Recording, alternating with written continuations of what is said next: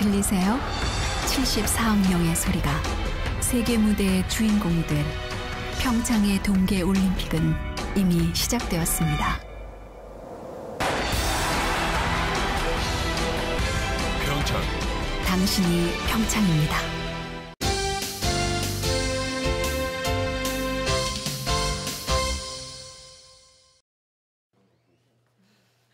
박물관을 찾은 관람객에게 전시물을 알기 쉽게 설명해주는 프로그램이 새로운 전시 문화로 주목받고 있습니다. 도내 국립춘천박물관입니다. 박물관을 찾은 사람들이 삼삼오오 모여 설명을 듣고 있습니다. 삼척에 와서 문이 닫으려고 하는데 아무런 주- 정보가 없어서 그 당시 이제 최초의 삼척 지리지 척추지를 만들었고요. 이름을 여러 번 되뇌이면 바라는 바를 이뤄준다는 아미타 부처상부터 시작해 여러 가지 개성이 담긴 얼굴을 그대로 표현한 나한상까지 알기 쉽고 흥미진진한 전시 해설이 이어집니다.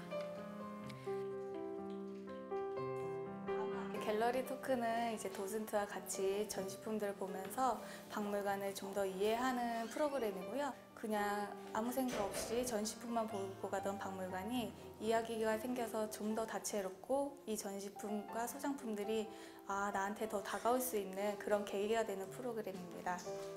국립춘천박물관은 지난 5월부터 박물관 전시에 대한 설명을 직접 들으며 관람할 수 있는 갤러리 토크 프로그램을 마련했습니다.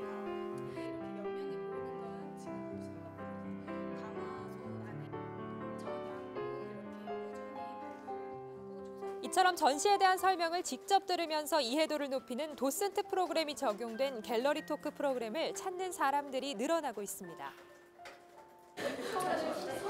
무료로 진행되는 이 프로그램은 10명에서 30명 사이의 단체면 누구나 신청할 수 있으며 매주 화요일에서 금요일 10시부터 오후 6시 사이에 운영됩니다.